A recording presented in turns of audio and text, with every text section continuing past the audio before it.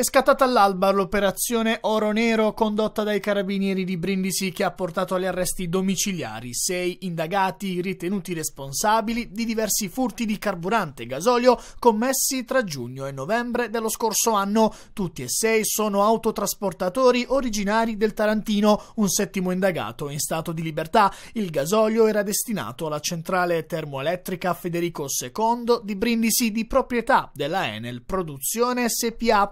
Gli indagati, secondo gli inquirenti, avrebbero utilizzato mezzi fraudolenti per commettere i furti. Il gasolio era destinato al servizio pubblico ed è stato sottratto ad una infrastruttura indispensabile per il funzionamento dell'impianto di produzione di energia elettrica. Le indagini sono partite dopo l'esposto presentato da Enel Produzione nel febbraio 2020 per alcune anomalie riscontrate, ovvero consumi abnormi di carburante non giustificabili. Da qui la minuziosa ricostruzione dell'investigazione investigatori che hanno scoperto ben 35 episodi di furto e in ognuno di questi venivano sottratti circa 80 litri a carico. Sono almeno tre i metodi individuati dai carabinieri attraverso i quali gli indagati avrebbero sottratto il gasolio. Alcuni trasferivano parte di esso dalla cisterna di un autoarticolato a quello di un altro che aveva già concluso le operazioni di scarico, altrimenti avveniva il trasferimento di parte del gasolio dalla cisterna al serbatoio di alimentazione della motrice dello stesso automezzo oppure a quello della motrice di un'altra autocisterna.